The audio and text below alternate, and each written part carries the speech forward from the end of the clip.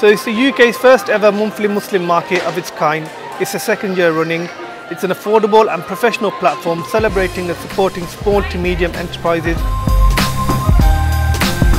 We have up to 40 artisan and niche vendors from across the UK that come together each and every month. It's a pure market experience and not your standard fun day setup. A food hall and dining space is included along with kids and activities. Honestly, just the fun of it. Me, I don't like to go out and that kind of stuff. I'm more like an introvert. But whenever I come here, I feel at home. Enjoy the family-friendly environment and a great vibe. Shoppers who discover the market love it and always return back.